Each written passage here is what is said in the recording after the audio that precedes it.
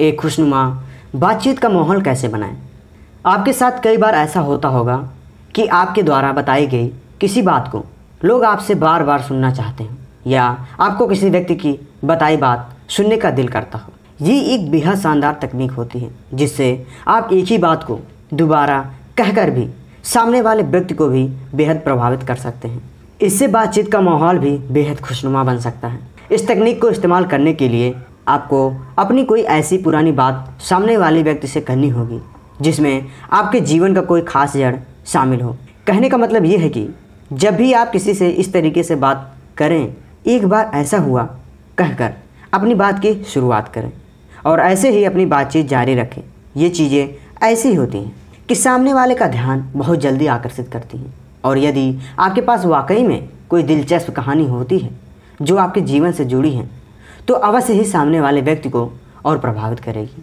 इससे आपके बातचीत को एक नई सकारात्मकता मिलेगी। आपके पास अगर अपने खुद की कोई कहानी या पुरानी बात ना हो तो आप जिस समूह में बैठे हैं, उसमें से किसी व्यक्ति को उनके जीवन की कोई बात याद दिलाकर उस घटना पर बात करनी शुरू कर दें।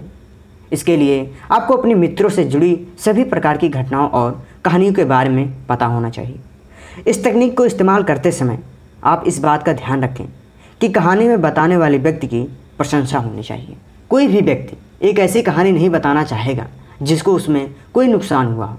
इस तकनीक में फ़ायदा एक और है कि जब वो व्यक्ति पूरे समूह को अपनी कहानी बताने में पूरी तरह से मशगूल हो जाए, तब आप उस बातचीत को जोड़कर आसानी से जा सकते हैं। तो ये तकनीक आपके लिए किसी भी बातचीत को छोड़कर जाने में काफ़ी मददगार साबित होगी। इस बातचीत के दौरान आपको हमेशा एक सकारात्मक दृष्टिकोण वाले व्यक्ति के तौर पर नज़र आना चाहिए। हमारी बाईसवीं तकनीक के बारे में जो ये कहती है कि किसी के सामने यदि आपको एक सकारात्मक व्यक्ति के तौर पर उभर कर आना है तो ये काम आप एक या दो दिन में नहीं सीख सकते। इस तकनीक को सीखने के लिए आपको थोड़ी धैर्य की आवश्यकता होगी। अक्सर लोग इसी तरह की चर्चाओं में शामिल होना पसंद करते हैं। इस तकनीक के अनुसार एक सकारात्मक व्यक्ति हमेशा खुलकर लोगों से बात करता है और उसकी मुस्कुराहट भी खुलकर आती है। इससे सामने वाले व्यक्ति को इस बात का पता लगने लगता है कि आप एक सकारात्मक दृष्टिकोण रखने वाले व्यक्ति हैं। आपके साथ कई बार ऐसा हुआ होगा जब आपको नई दिलचस्प बात नहीं सोच पाते। ऐसी स्थिति में आपका ये जानना बेहद आवश्यक है कि कैसे आप हर वक्त कुछ ऐसा बोलें जो सामने वाले व्यक्ति को दिलचस्प लगे। हमारी अगली तकनीक इसी बारे में है।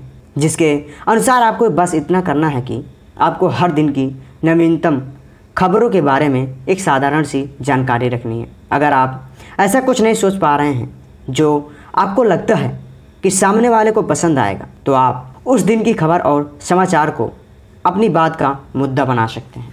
अक्सर लोग इसी तरह की चर्चाओं में शामिल होना पसंद करते हैं। तो इसी के साथ हमारी समरी यहीं समाप्त होती है। मिलते हैं अगले सीरीज़ में। तब तक के लिए धन्यवाद।